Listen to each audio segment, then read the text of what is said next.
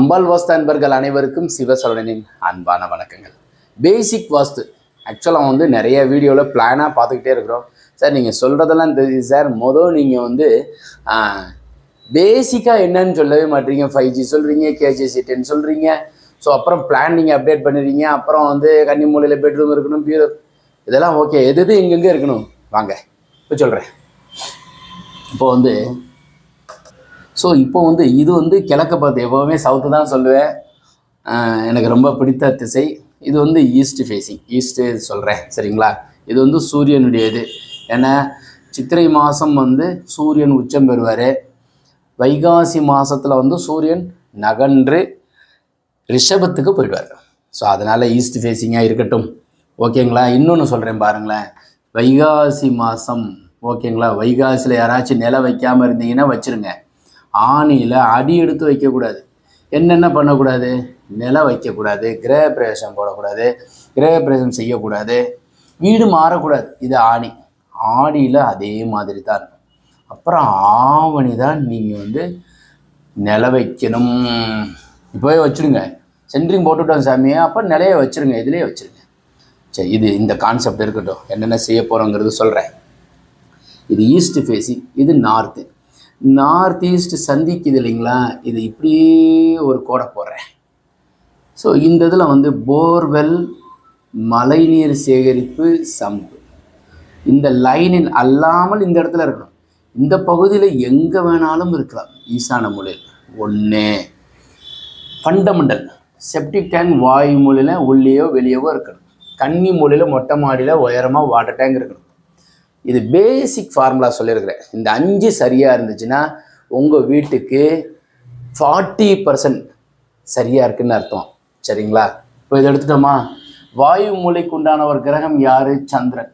ஒரு கிரக ஒரு ராசியிலேருந்து இன்னொரு ராசி நகரம் ரெண்டே கால் நாள். ஆகும் அப்போது இந்த இடம் இவர் வந்து மனோகாரகன் ஸோ உங்கள் உடலில் இருக்கிற கழிவுகள் மனசு சம்மந்தப்பட்ட கழிவுகள் எல்லாம் அகற்றுவார் அதனால் இந்த இடத்துல வாயுமொழியில் toilet bathroom septic tank already சொல்லிவிட்டு guest bedroom steps staircase steps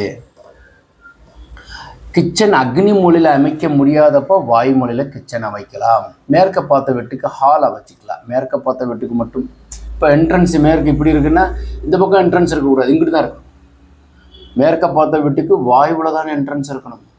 ஏன்னா சந்திரன் உங்களை மனசு இயக்குவார். ரெண்டாம் தேதி. பதினாலாம் பதினொன்றாம் தேதி இருபதாம் தேதி இருபத்தி ஒம்பதாம் தேதி பிறந்திருக்கிறீங்களா?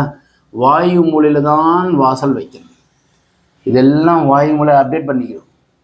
கன்னி மூலைக்கு போகும் இந்த இடத்துல பூஜை ரூம் இருக்கக்கூடாது. சரிங்களா? கன்னி மொழியிலுக்கு வந்துடும் கன்னி மூலையில் என்ன இருக்கணும்? முதல் டேங்க் ஒன்று சொல்லிட்டோம். ரெண்டாவது கன்னி மூலையில் பூஜை இருக்கணும். கார்னரில் தள்ளி இருக்கணும். மாஸ்டர் பெட்ரூம் இருக்கணும். வேற என்ன சாமி இருக்கலாம்? வேற மாடிப்படி வெளியில இருக்கணும். மாடிப்படி வெளியில வீட்டுக்கு வெளியில இருக்கணும். வெராண்டா இருக்கலாமா? இருக்கக்கூடாது. Pooja room master bedroom steps office வச்சுக்கிறீங்களா? வச்சுக்கோங்க. பெரிய கடை வச்சுருக்கோம் சார். கீழே மேலே வந்து வீடு போட்டிருக்கிறோம். ஷாப்பு கீழே மேலே வீடு. வச்சுக்கோங்க. அஞ் வந்துருச்சு. அக்னி மூலையில் கிச்சன் இருக்கணும். ஸ்டோர் இருக்கணும். யூட்டிலிட்டி இருக்கணும். சார் பெட்ரூம் வச்சுக்கலாம். வைக்காதீங்க. எனக்கு தெரிந்த அன்பர்களுடைய எக்ஸ்பீரியன்ஸ் நான் உங்களுக்கு அப்புறம் சொல்கிறேன் கிச்சன் ஸ்டோர் யூட்டிலிட்டி தெற்க பார்த்த வீடுன்னு வச்சுக்கோங்களேன். வாசல் வச்சுக்கணும். அக்னி மூலையில். இந்த இதில் நீங்கள் நிச்சயமாக வாசல் இருக்கக்கூடாது. நீங்கள் மேற்கு பார்த்த வீடாக இருந்தால் இந்த இடத்துல எல்லாம் வாசல் வரக்கூடாது. தெற்க பார்த்த வீடாக இருந்தால் இந்த இடத்துல எல்லாம் வாசல் வரக்கூடாது. வடக்க பார்த்த வீடாக இருந்தால் இங்கே வாசல் இருக்கணும். கிழக்கு பார்த்த வீடாக இந்த இடத்துல வாசல் இருக்கணும். அதாவது இந்த இடம் என்னென்ன சாமி? நீங்கள் புரியலை. ஈசானத்தில் இருக்கணும். அக்னியில் இருக்கக்கூடாது. இவ்வளோ தாங்க ஃபார்முலா தெற்க பார்த்த வீடாக இருந்தால் இந்த இடத்துல வச்சுக்கலாம். அப்போ கிச்சன் அங்கே போய்டும். ஈசான மூலையில் என்ன இருக்கணும் சார்? ஹால் இருக்கலாம். பூஜை அறை இருக்கலாம் ஸ்டடி ரூம் இருக்கலாம் ஸ்டடி ரூம் இருக்கலாம். வேறு என்ன நீங்கள் வந்து டாய்லெட் பாத்ரூம் இருக்கலாமான்னு கேட்குறா இருக்கக்கூடாது ஆஃபீஸ் வச்சுக்கலாம். ஆஃபீஸ் கட் பண்ணி வைக்கக்கூடாது. ஆஃபீஸோடு சேர்ந்துருக்கணும். வீட்டோட ஆஃபீஸும் சேர்ந்துருக்கணும் தனியாக வைக்கக்கூடாது. கடை போடக்கூடாது. பேசிக்காக நான் உங்களுக்கு சொல்லியிருக்கேன்.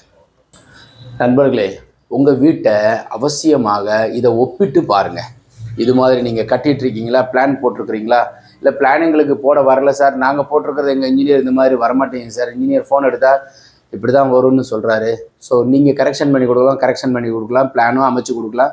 பட் அதே மாதிரி கட்டிடாதீங்க. ஒரு அன்பர் கேட்டிருந்தார் கமெண்ட் செக்ஷனில் ஏழ்றையில் வீடு கட்டலாமா? நல்லா கட்டலாம். அஷ்டம சனி கண்ட சனி உங்களுக்கு சனி தாங்க இயக்குறவர். தயவுசெய்து சனின்னு சொல்லாதீங்க. சனி பகவான். சனீஸ்வரன் ஈஸ்வரப்பட்ட எம்பெருமான் சிவபெருமான்கிட்ட இருந்து ஈஸ்வர பட்டம் நம்ம இப்போ காசு கொடுத்து சாரி பட்டம் வாங்குறோம் இல்லையா? நம்ம வந்து படிச்சுட்டு பட்டம் வாங்குறோம் இல்லையா? அது மாதிரி எம்பெருமான் சிவபெருமான்கிட்டே வந்து சனீஸ்வர பகவான் ஈஸ்வர பகவான் பட்டம் வாங்கியிருக்காரு.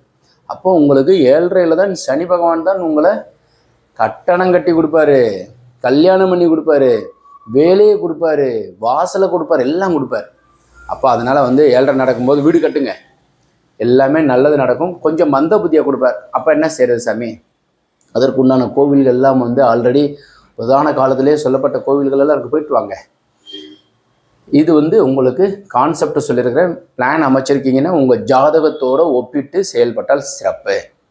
குழி பொருத்தம் எல்லாம் பார்த்து வரைபடம் அமைச்சு செயல்படுங்க. வாஸ்துபடி உள்ள வீட்டில் மட்டுமே வசிப்போம். வளமுடன் வாழ்வோம். மீண்டும் நாளை ஒரு அருமையான தகவல் சந்திக்கின்றேன். வணக்கம்.